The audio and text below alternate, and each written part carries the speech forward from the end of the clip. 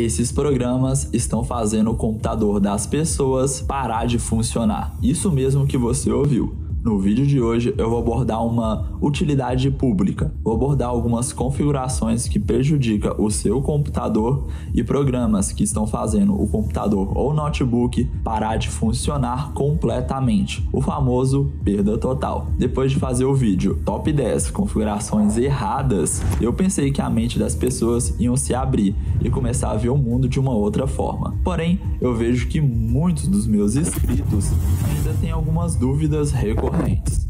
O primeiro erro que eu vejo muitas pessoas cometendo seria atualizar drives o tempo todo. Quando o assunto é atualizações, tudo parece bem simples, mas não é. Há uma série de considerações que devemos analisar, então preste muita atenção nos exemplos a seguir. Primeiro, não confunda, não atualize drives o tempo todo com nunca mais atualizar nada. São coisas completamente diferentes. Vou dar exemplos envolvendo NVIDIA, AMD, drives de áudio, até mesmo as novas atualizações do Windows. Sempre que chega alguma atualização da NVIDIA, AMD ou até mesmo do Windows, eu espero pelo menos 3 semanas antes de atualizar os drives, que é basicamente o tempo que as empresas levam para corrigir algum bug sério. E muitas dessas atualizações, quando o assunto é placa de vídeo, são por causa de algum jogo bem específico que foi lançado. Se você não for jogar o jogo que veio na atualização, espere pelo menos três semanas antes de atualizar os drives. O segundo erro é um assunto bem sério. Eu vejo que, de certa forma, eu acabei contribuindo para esse mal entendido. Recomendo bastante cuidado quando o assunto é usar programas que atualizam drives. Um bom exemplo seria: nem sempre é bom atualizar um drive de áudio, principalmente se o seu computador é um computador mais antigo, ou seja, um computador de terceira geração, aquela placa-mãe bem antiga. O próprio Windows Update auxilia nas atualizações.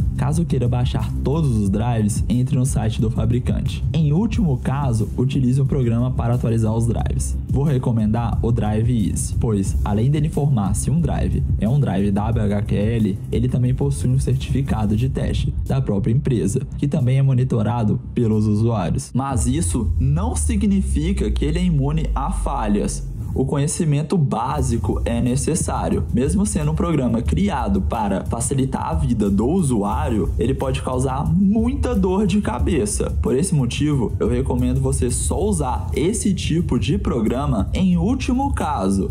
Um bom exemplo de uma possível dor de cabeça seria se você tem um processador Intel Xeon, placa-mãe X99 ou placa-mãe X79 cuidado redobrado ao instalar esse tipo de programa em seu computador. Ou melhor, vou recomendar que você nem instale programas que atualizam drives em seu computador. Procure pessoas que entendem sobre BIOS de placa-mãe Intel Xeon, as famosas placa-mãe chinesas, caso você queira atualizar alguma coisa referente à sua placa-mãe, pois a atualização de BIOS dessa placa-mãe, quando o assunto é Intel Xeon, requer muito cuidado e conhecimento específico e conhecimento básico ao utilizar esse tipo de programa, programas que atualizam drives, vai muito além de placa-mães chinesas ou Intel Xeon. O conhecimento em saber se o drive sugerido pode ser instalado ou não em seu computador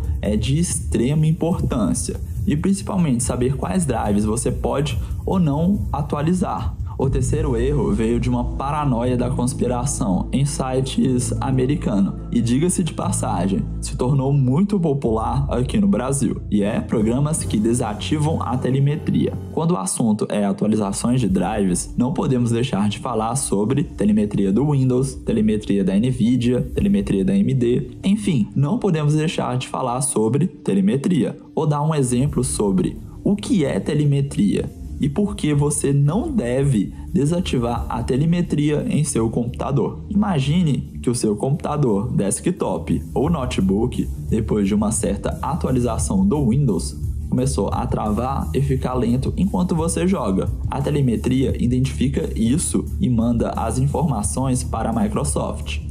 Porém, esse problema não está apenas acontecendo em seu computador. A inteligência artificial da Microsoft identifica esse mesmo problema e vê que ele está acontecendo em outros computadores e percebe que são computadores que têm uma placa de vídeo Nvidia GTX 1650 e estão usando a versão mais recente dos drives Nvidia. Todos esses computadores tiveram lentidão e travamento enquanto os computadores que estão usando uma versão antiga do drive NVIDIA não estão com problema. Não estou falando que a versão antiga do drive NVIDIA é melhor ou pior. Estou falando que a telemetria ajudou a descobrir o problema e vai informar a NVIDIA que em alguns dias vai lançar uma atualização solucionando o problema. A telemetria também ajuda a identificar qual versão do Windows você está usando e recomendar o drive que melhor funciona em seu computador. Antes que você fique maluco, tudo isso é feito de uma forma completamente anônima. Então tire o seu chapéu de alumínio, aproveite esse momento de esclarecimento para deixar o like aqui no vídeo e se tornar um inscrito se você ainda não é um inscrito, porque agora chegou a hora de conhecer o último e o mais perigoso vilão de todos, que eu vou citar nesse vídeo, é claro. É o Fumark GPU. O programa Fumark GPU pode estragar a sua placa de vídeo? Se você não tem uma placa de vídeo, preste preste bastante atenção. Um dia você vai ter e é de extrema importância que você saiba sobre isso. É normal depois de comprar uma placa de vídeo você querer fazer testes para verificar se está tudo funcionando corretamente, ou após usar programas como o MSI Afterburn, ou até mesmo fazer overclocks usando outros programas. O Fumark GPU é um programa de teste e ele fará coisas que nenhum jogo jamais sonharia em fazer em seu computador. Eu considero o Fumark GPU um teste kamikaze, pois todos os fabricantes o consideram um pesadelo térmico, pois ele sai do caminho padrão e empurra um teste à sua GPU mais difícil do que qualquer jogo jamais sonharia em fazer, pois o Fumark GPU faz coisas que não fazem sentido no uso prático.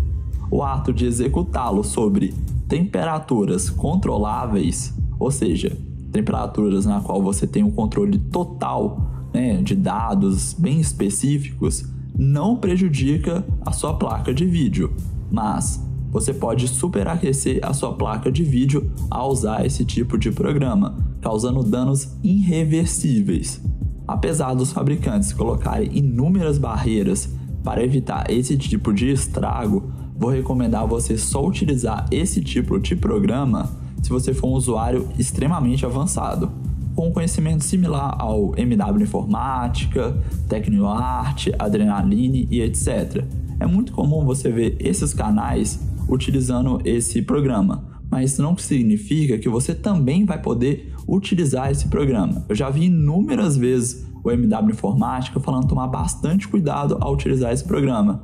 E eu já vi muitas reclamações desse programa danificar a placa de vídeo.